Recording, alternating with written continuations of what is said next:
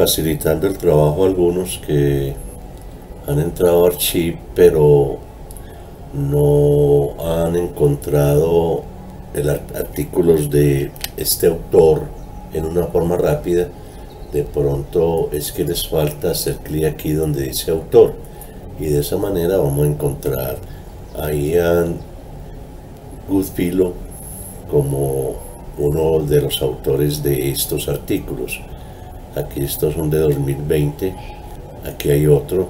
Pero si nos vamos más abajo vamos a encontrar de 2018 por ejemplo este que habla de las redes generativas adversarias las GAN.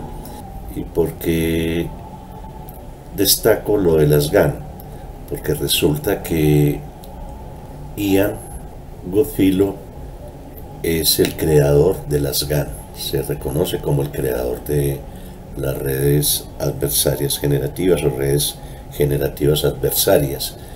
Eh, una de las técnicas utilizadas para generar imágenes con inteligencia artificial.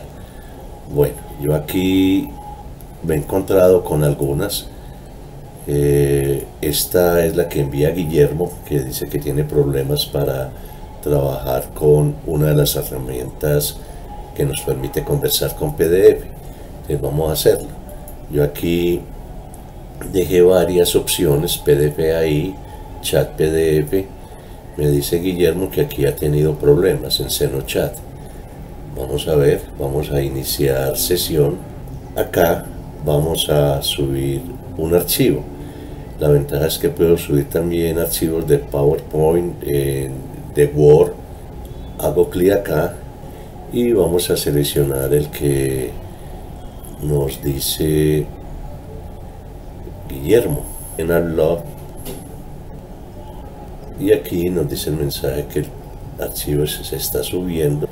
Y añadimos este archivo a la fuente de conocimientos.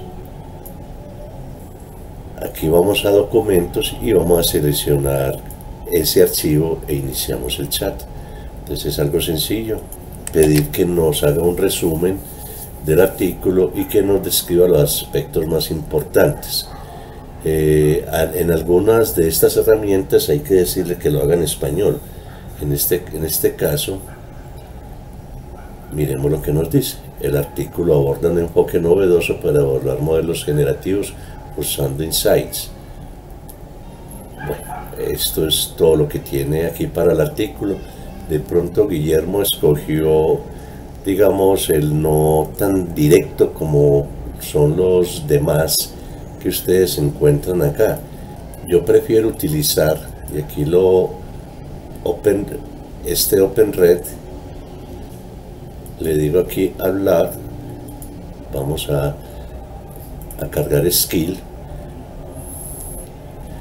y observemos que aquí no hubo necesidad de preguntarle eh, sobre el artículo, sino que aquí ya nos está dando la información del artículo. Aquí con, con clic derecho le decimos que nos lo traduzca a español y observemos.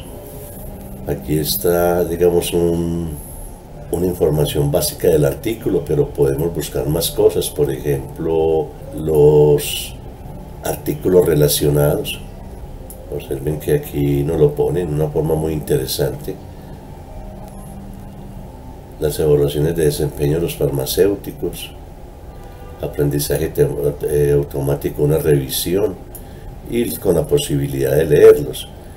Es algo que nos da allí este otro.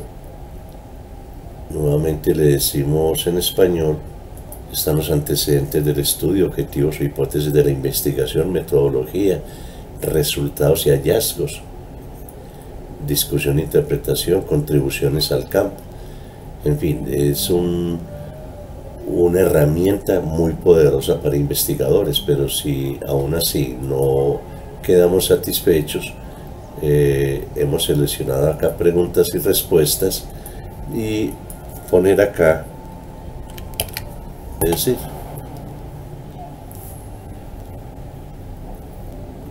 Y aquí está.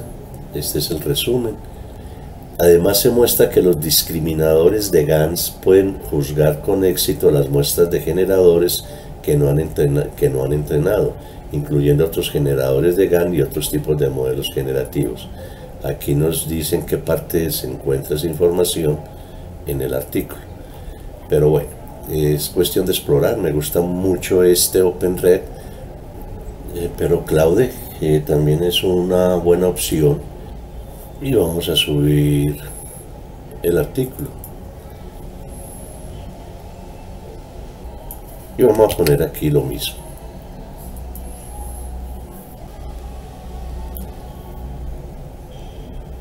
observemos que aquí nos hace el resumen y Claudia, a diferencia de los dos que vimos anteriormente, pues nos, nos presenta esos aspectos más importantes. Nuevo marco de evaluación, dos métodos de resumen.